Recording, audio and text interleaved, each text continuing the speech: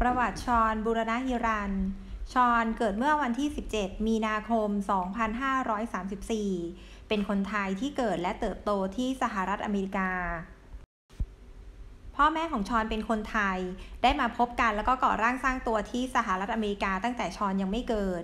บ้านของชอนอาศัยอยู่ที่เมืองเวสต์โควินารัฐแคลิฟอร์เนีย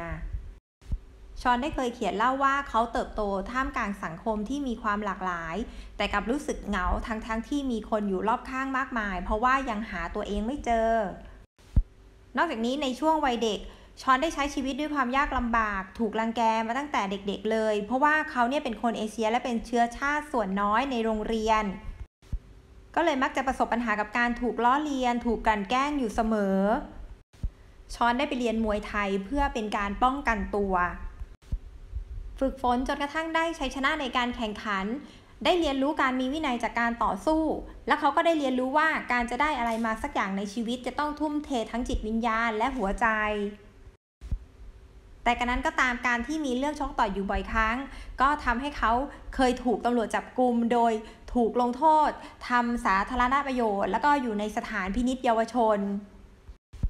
และที่นี่เองที่เขาได้มีโอกาสดูคลิปวิดีโอที่เป็นคลิปสร้างแรงบันดาลใจทำให้เขาได้เปลี่ยนตัวเองมาจนถึงทุกวันนี้ สมัยที่ชอนอยู่อเมริกา เขาก็เป็นคนที่ไม่ค่อยมีมนุษยสัมพันธ์เท่าไหร่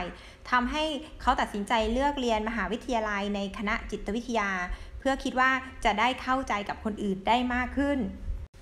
ช่วงที่เรียนอยู่มหาวิทยาลัยเนี่ยสมองเขาได้รับความกระทบกระเทือน จากการชกมวย คุณหมอก็เลยให้หยุดพัก และช่วงที่หยุดพักเนี่ยเขาก็เลยหันมาสนใจทำเพลงฮิปฮอปกับเพื่อนๆ แล้วก็ได้ทำเพลงลงใน YouTube ทำให้ค่ายเพลงแบงค์บาร์ซึ่งเป็นค่ายเพลงฮิปฮอปในเมืองไทยนะคะ สนใจแล้วก็ชวนฌอนมาที่ประเทศไทย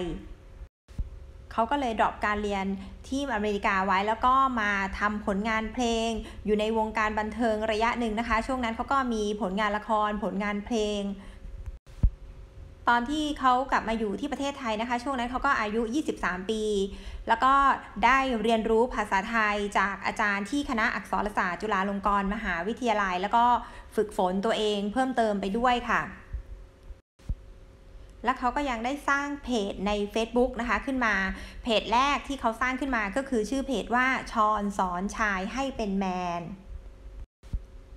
กลุ่มเป้าหมายของเพจนี้ก็เน้นผู้ชายเป็นหลักนะคะ ก็เริ่มจากสอนแนวคิดสิ่งต่างๆ เรื่องใกล้ตัว เป็นคลิปวิดีโอสั้นๆ แล้วก็มีผู้คนเนี่ยเข้ามาติดตามมากขึ้นมากขึ้น เขาก็เริ่มรู้สึกว่าไม่ใช่เฉพาะแต่ผู้ชายเท่านั้นที่สนใจ เขาก็เลยได้เปลี่ยนชื่อเพจมาเป็นชอนบูรณะฮิลัน เพจนี้ก็จะเน้นเกี่ยวกับการให้ความรู้แนวคิดสร้างแรงบันดาลใจในการดำเนินชีวิต ฌอนยังเคยจัดทอล์กโชว์เป็นของตัวเองด้วย และก็ได้เป็นนักเขียน หนังสือที่เขาเขียนก็เป็นหนังสือ bestseller เลยทีเดียวค่ะ ปัจจุบันเราสามารถติดตามฌอนได้ทั้งทาง Facebook และก็ช่อง YouTube เพจของฌอนตอนนี้นะคะมีผู้ติดตามกว่า 3 ล้านคน และใน YouTube นะคะก็มีผู้ติดตามกว่า 1 ล้านคนเลยทีเดียว